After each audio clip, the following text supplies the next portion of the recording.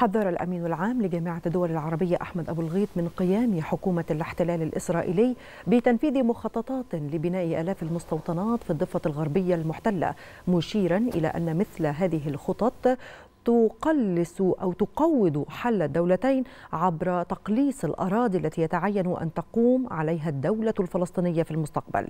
طالب أبو الغيط الإدارة الأمريكية باتخاذ موقف صارم ضد الخطط الإسرائيلية المزمعة دفاعا عن حل الدولتين الذي تروج له واشنطن مؤكدا أن الاستيطان ينسف السلام وأنه لا يمكن الحديث عن تسوية بين الفلسطينيين والإسرائيليين أو عن سلام إقليمي في المنطقة. بينما الأراضي الفلسطينية يتم قدمها كل يوم.